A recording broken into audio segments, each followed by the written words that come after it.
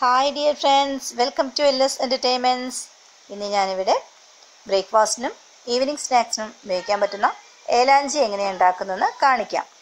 അതിനായിട്ട് ഒരു ബൗളിലേക്ക് അര കപ്പോളം മൈദമാവ് ചേർത്ത് കൊടുത്തിട്ടുണ്ട്. ഇതിലേക്ക് ആവശ്യമായ ഉപ്പ് കൂടി ചേർത്ത് ഒന്ന് ഇളക്കിയെടുക്കാം.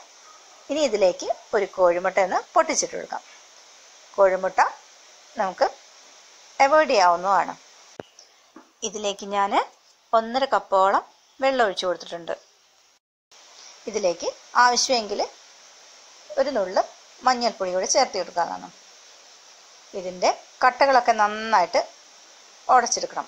അതിനായിട്ട് ഒരു വിസ്ക് വെച്ച് നമുക്ക് ഇതുപോലെ ഒന്ന് ഇളക്കി കൊടുത്താൽ മതി. ഇത് ഒരു ദോശയുടെ മാവ് പോലെയാണ് നമുക്ക് എടുക്കേണ്ടത്.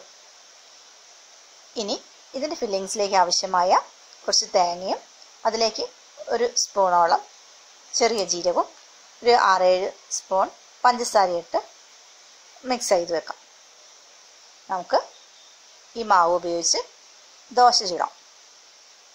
ഈ ദോശയുടെ ഒരു വശം ചുട്ട് കഴിഞ്ഞാൽ നമുക്കത് മാറ്റി വയ്ക്കാം എളുപ്പത്തിന് വേണ്ടി ഞാൻ മറ്റു ദോശ ചുട്ട ശേഷമാണ്